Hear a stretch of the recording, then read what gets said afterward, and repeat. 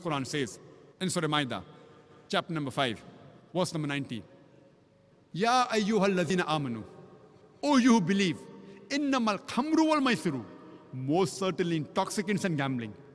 Wal anzab wal azlamu. Dedication of stones, divination of arrows. Rishtum min amali shaitan. These are Satan's handiwork.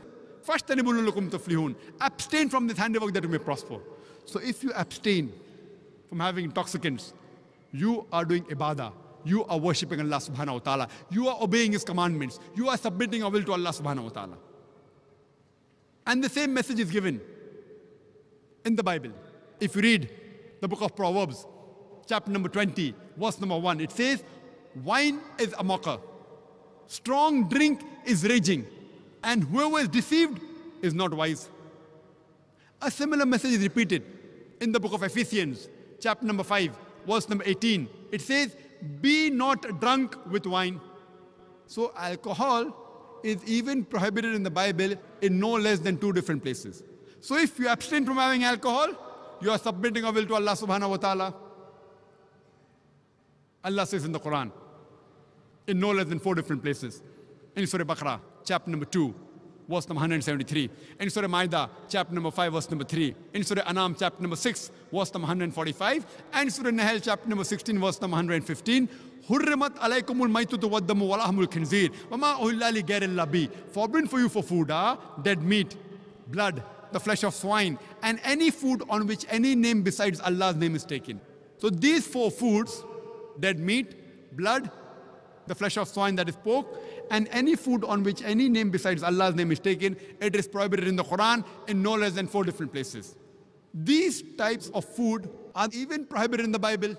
If you read the Bible in the book of Leviticus, chapter number 17, verse number 15, and the book of Deuteronomy, chapter number 14, verse number 21, it says, You shall not eat anything which dieth of itself. So even dead meat is prohibited in the Bible regarding blood. There are no less than five different places in the Bible where blood is prohibited. If you read in the book of Genesis, chapter number 9, verse number 4, in the book of Leviticus, chapter number 17, verse number 14, in the book of Deuteronomy, chapter number 12, verse number 16, in 1 Samuel, chapter number 14, verse number 33, and the book of Acts, chapter number 15, verse number 29. The Bible prohibits having blood in no less than five different places.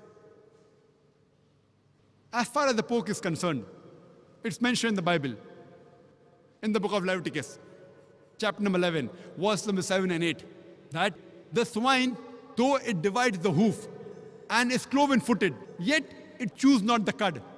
It's unclean for you. Thou shalt not eat its flesh, nor touch its carcass. It is unclean for you. The same message repeated in the book of Deuteronomy, chapter number 14, verse number 8. The swine, though it divides the hoof, yet it chews not the cud.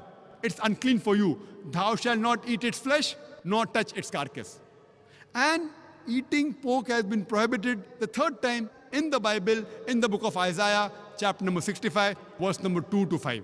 The Bible prohibits the eating of the flesh of swine, that is pork, in no less than three different places. And the last, the eating food on which any name besides Allah's name that has been taken, is also prohibited in the Bible. In the book of Acts, chapter number 15, verse number 29, as well as the book of Revelation, chapter number 2, verse number 14, that any food on which any name besides Almighty God's name is taken, if that food is put on altars, then that food is prohibited even for the Christians.